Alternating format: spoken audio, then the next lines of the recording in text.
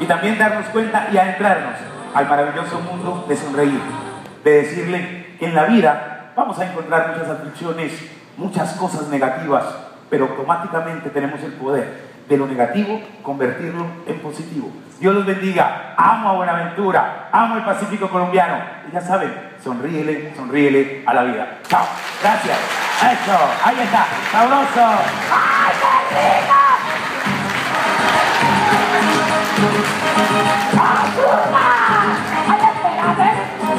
Siempre con invitar a hacer teatro. Vamos a da. Hola, Cabildo, Bemba, Colora, Azúcar, Colombia, gracias, Buenaventura. Y este es el aplauso